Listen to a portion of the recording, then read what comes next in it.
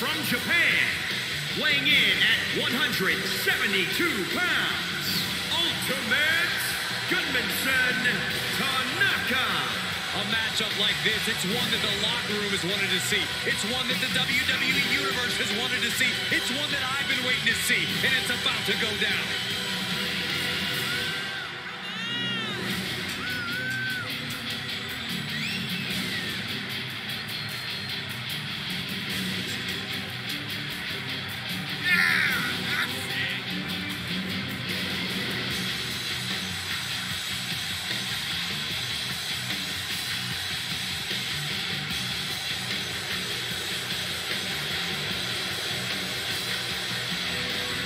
Doesn't matter where or when he's competing, this guy just wants to fight, and he's about to get one.